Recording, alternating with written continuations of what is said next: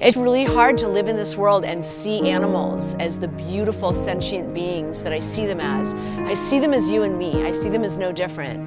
But we live in a world that sees them very differently and they're enslaved.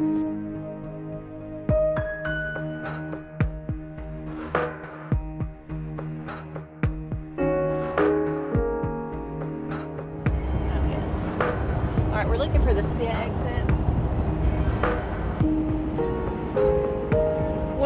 About Maybelle, it was kind of like the game of telephone. Like we found out from someone who found out from someone who found out from someone.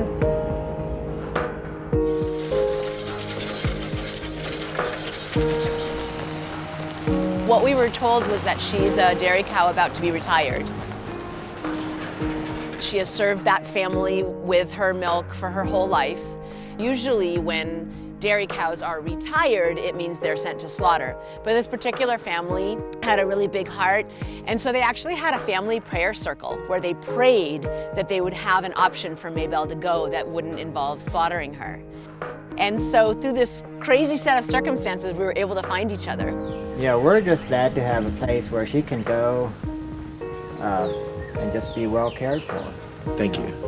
Has she been in a pasture with a bull? Yeah, And so she has not had a heat cycle since you bred her? not that we noticed. Wow. It's really hard to tell whether or not she'd be pregnant.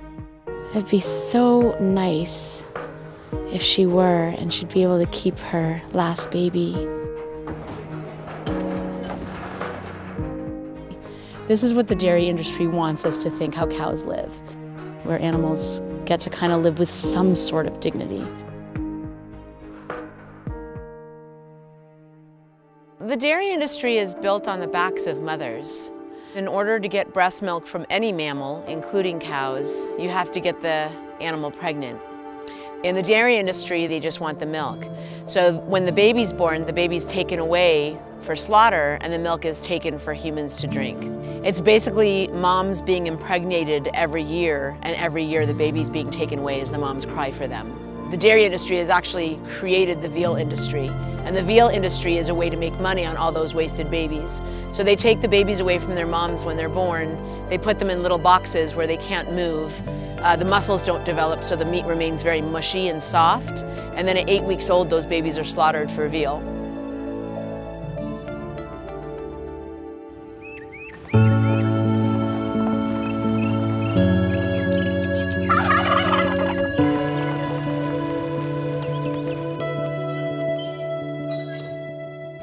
On, sweetheart. Come on. It's okay. It's okay. This is your bedroom. Let's look at it. There's your water. See, just like I told you, right? If you could ever ask for how a rescue would go easy, that was it. Yeah. If she could be pregnant and get to keep her baby, Her and last baby. this could apologize for her entire life.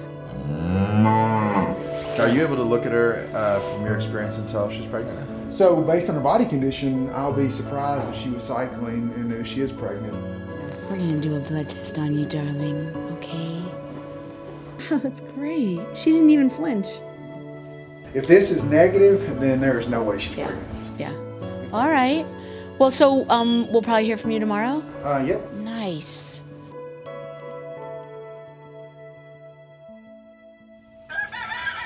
What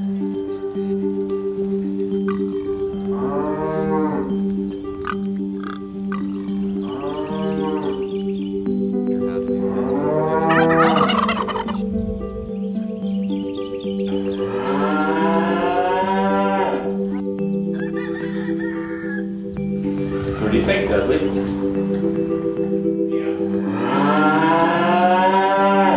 You know, Ellie and I have been debating what's going on with Maybelle uh, for the last two days. She kept crying and pacing and calling out. And at first we thought, well, you know, maybe she is missing her home. But as the days persisted, she just kept crying. And in my experience with all the cows that we've taken into the gentle barn, the only reason they ever cry like that is because they're looking for a baby. Ellie and I have been going back and forth on what to do about it. We talked to the people who connected us to this situation. We were told she didn't have a baby. There was no baby when we picked her up. And I said, Yeah, but she's saying otherwise. She's telling me she has a baby. And I really think that we need to go back there and double check. I'm really hoping that this baby's still there.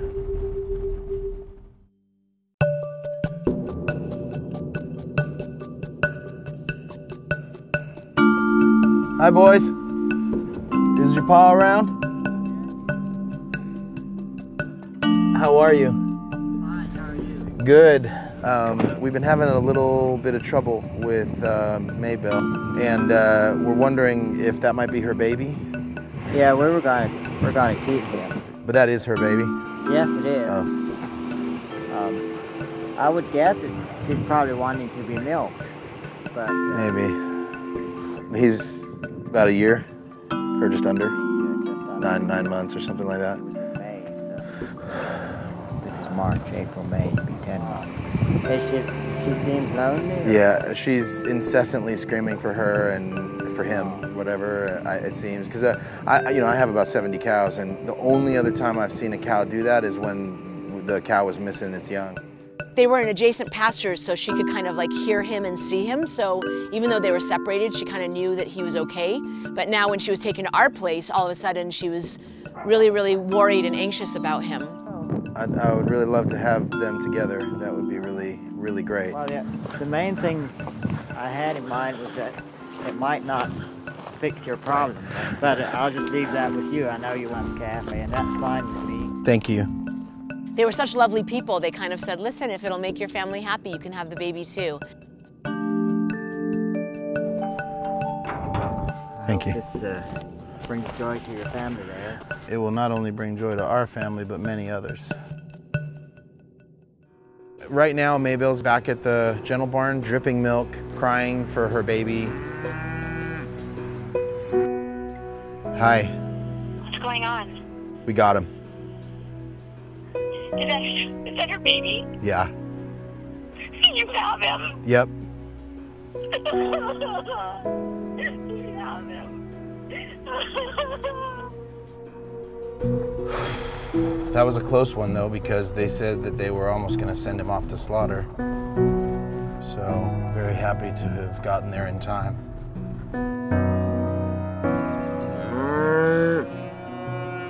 When the baby heard his mom, he started crying.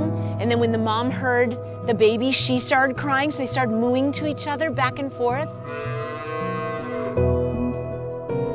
We're to end Mama's suffering right now.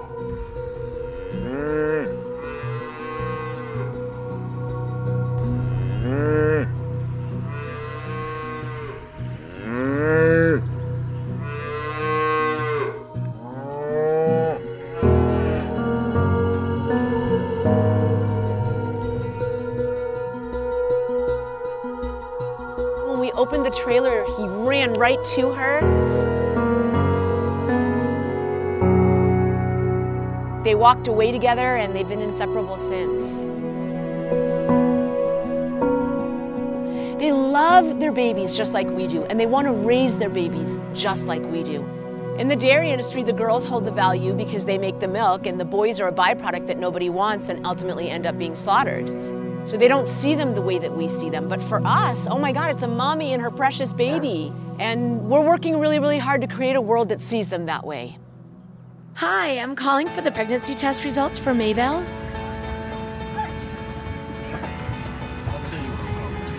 She's pregnant.